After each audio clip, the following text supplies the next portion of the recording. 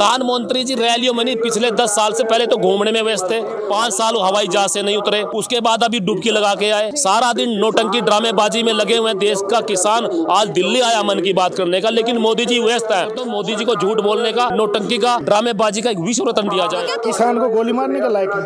किसान का एमएसपी पे कानून दे दे। लाखों लाखों करोड़ों करोड़ रूपए के सूट पड़ता प्रधानमंत्री। दूसरे देशों में भोगता है। इसके पास प्रधानमंत्री के पास दो मिनट किसानों के लिए बात करने के लिए समय नहीं है। ऐसा किसान डरने वाला थोड़ी है। चोरों से। ये तो चोर लोग हैं, ये तो वारिस हैं अंग्रेज़ों के। ये पहले गोरे अंग्रेज़ थे, काले अंग्रेज़, इतना फ़र्क है मोदी साहब ने कहा था, मोदी की गारंटी है, नहीं तो सरकार की जाने की गारंटी है।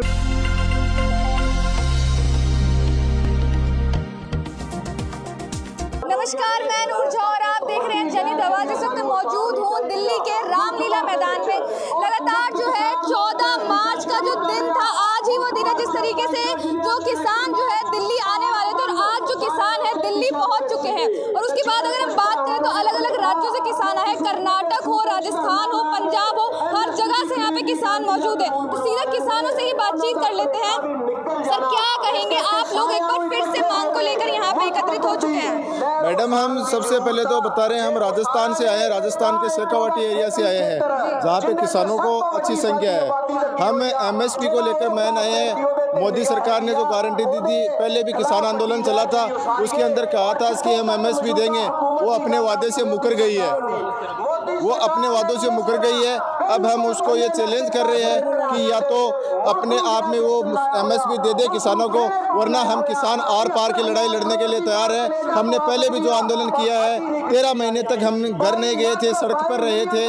उसी तरह से अब अगर हमको तेरह महीने की जगह छब्बीस महीने भी रहना पड़ेगा तो हम रहने के लिए तैयार है। और उसके बाद भी अगर तेरह महीने से ज़्यादा हो गए लगातार जो है अगर आपकी मांग नहीं मानेंगे फिर आप लोग क्या करेंगे? देखिए मेरा नाम घनेन्द्र शर्मा है जिला मुरादाबाद से भारतीय किसान का जिला महासचिव हूँ। हम लोग सात सौ तो तहसील से आए हैं ढाई हज़ार से ज़्यादा जिला मुरादाबाद से आए हैं। और यदि हमारी मांग नहीं मानी गई तो जो राष्ट्रीय आह्वान का निर्णय होगा, वो हमें स्वीकार होगा। लेकिन दिल्ली की सड़कों को घेर लेंगे पूरी तरह से। यहाँ से जाएँगे नहीं वापस। आम जनता को कितनी तकलीफ़ होगी, आपको पता है? जनता को तकलीफ़ हम देने के लिए नहीं आए हैं। वो यही कह रहे हैं कि आप लोग की वजह से सड़क जाम हो रही है लगातार बैरिगेटिंग कर दी जा रही है। आप ही लोग जो है आम जनता को तकलीफ़ दे रहे हैं। नहीं नहीं नहीं ये देखिए गुमराह करने वाली बात है आम जनता को भड़काने वाली बात है।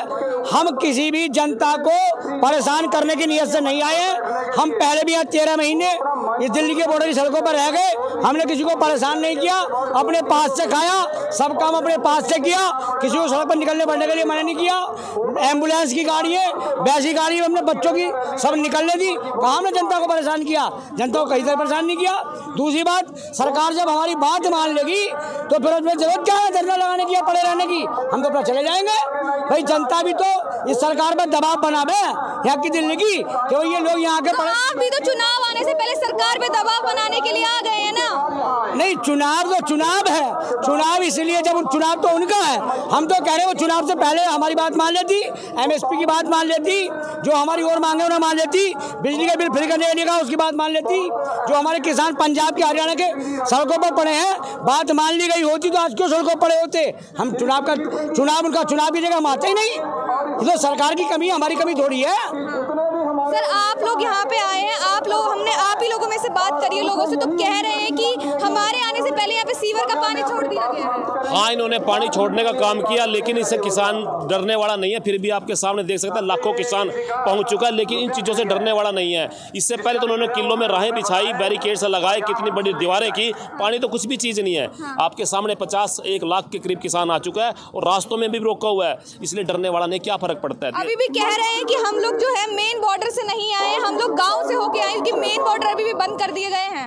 देखिए हालात वही उन्नीस के पहले से है जैसे पहले अंग्रेज़ों के खिलाफ लड़ा करते थे आज अंग्रेज़ों के रूप में जो सरकार बैठी है देश का किसान वैसे ही लड़ रहा है। उस टाइम भी अंग्रेज़ों से छिपकर लड़ाई लड़ी जाती थी तो आज भी देश का किसान लड़ रहा है। देश का किसान डरने वाला थोड़ी है इन चोरों से ये तो चोर लोग हैं ये तो वारिस हैं अंग्रेज़ों के ये पहले गोरे अंग्रेज़ थे काले अंग्रेज़ इतना फ़र्क है बस। अब आप लोग दिल्ली आ चुके तो क्या संसद के घेराव के लिए जाएँगे आप लोग? देखिए उसका फैसला वो जो बैठे हुए हैं ऊपर देश के किसान के नेता संयुक्त मोर्चा के लोग फैसला करेंगे। जैसा फैसला करेंगे देश का किसान उसी की फैसले के लिए चलने के लिए तैयार है। अगर संसद का घेराव करने के लिए कहा जाता है? तो क्या लग रहा है? आपको जाने दिया जाएगा क्या? या फिर वहीं से डिटेन करके ले जाएँगे आप लोग? देखिए ये तो बहुत पहले हो चुका है। पहले भी डराने का काम किया। देश के किसान को जो आदेश वहाँ से नेताओं का होगा तो उसका घेराव करने का काम अगर होगा तो करना पड़ेगा। इसलिए डरने वाले नहीं और चाहे कहीं भी ले जाए कहीं ले जाए पहले भी तो लेके जाया करते थे अंग्रेज़ों के समय में। तो अब क्या देश का किसान डरता है क्या? इसलिए मोदी सरकार से प्रार्थना है कि आपने जो मन की बात सुनने की बात की देश के क्योंकि सरकार डर गई है किसानों से?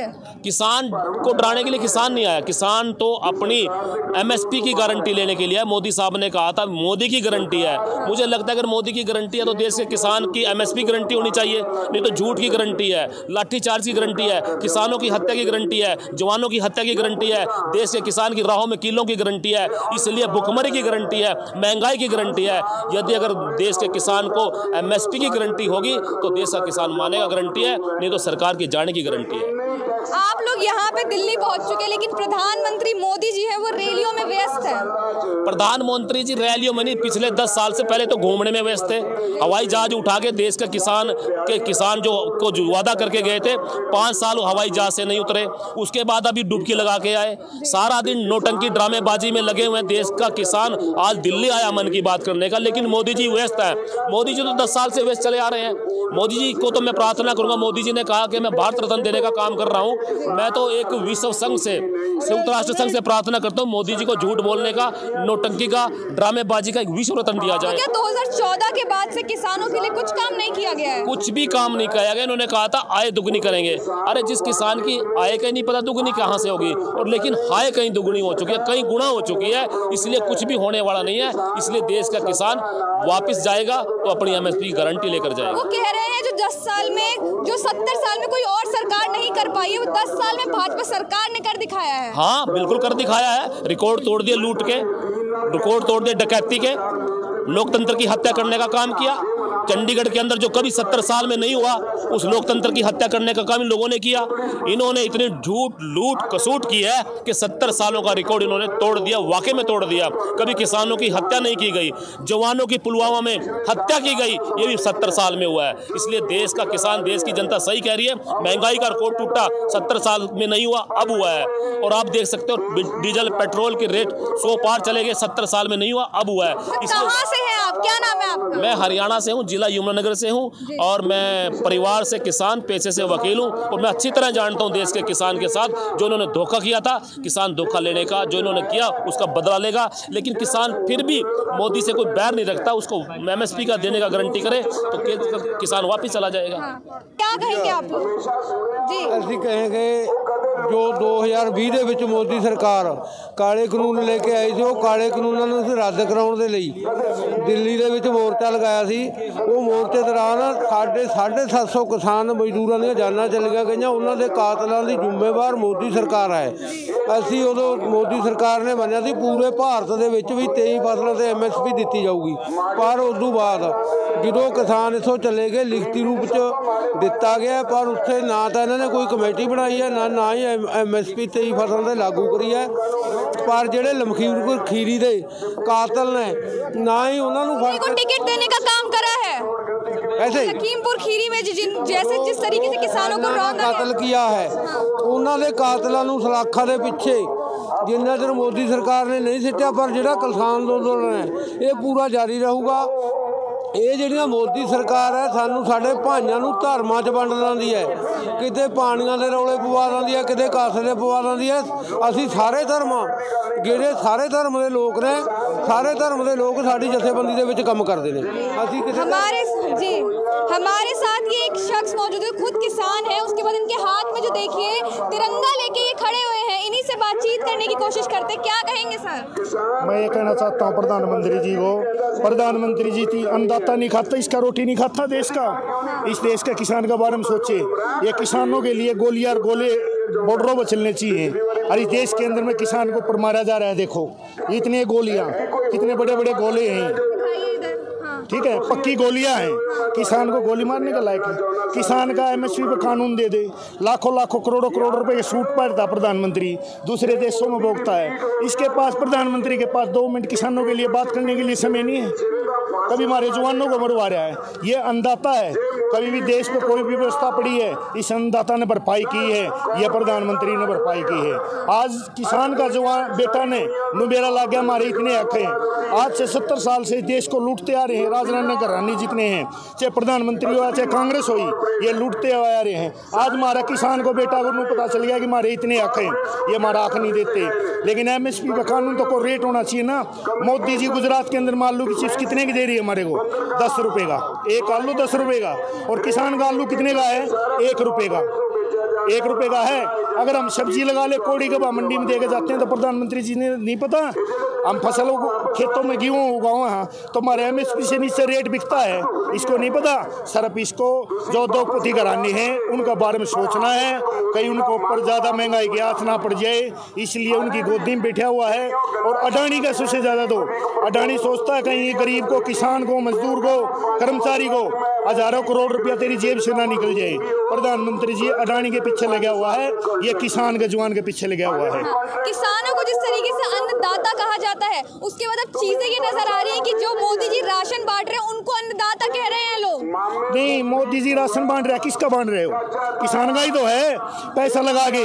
अभी हज़ारों करोड़ रुपए की विदेश से दाल मंगाई है इसने। वो किस लिए मंगाई है दाल? हमारे देश के किसान से उगवाओ ना? हमारे देश के किसान से पैदा करवाओ ना? हमारी एम एस पी पे सरसों का तेल है। कोटों में दे रहा है। ये तेल नहीं है। ये देश के लिए हानिकारक है। ये ऑयल है। और देश को बताओ ना, ये ऑयल उस चीज़ का है। और देश को खिलाया जा रहा है। सिर्फ़ ये कोटों में गेहूँ दे रहे हैं और तेल दे रहे हैं, अपना वोट बैंक के लिए दे रहे हैं। साढ़े तीन सौ करोड़ रुपए का ऑयल आया हमारे देश के अंदर में। हमारे देश के अंदर में सरसों उगाते हैं। उसका तेज तेल खिलाओ। लेकिन उसका तेल तो ये बाहर कंट्रियों में बेच रहे हैं मोदी। और दूसरे देश का ऑयल को हमारे को खिला रहा है। जिस तरीके से अभी आपने देखा कि पूरी गोलियाँ तक दिखाई गई हैं और उसके बाद अगर हम बात करें किसानों की तो किसानों के साथ किस तरीके से बर्बरता की जा रही है? ज़ाहिर तौर पे देखा जा सकता है यहाँ पे किसान जो अपनी मांगों को लेकर दिल्ली के रामलीला मैदान में पहुँच चुके हैं। अब देखना हैं कि प्रधानमंत्री नरेंद्र मोदी जी इनकी सुनते हैं कि नहीं। बाकी पूरी बातचीत और अपनी प्रतिक्रिया ज़रूर दीजिएगा। धन्यवाद।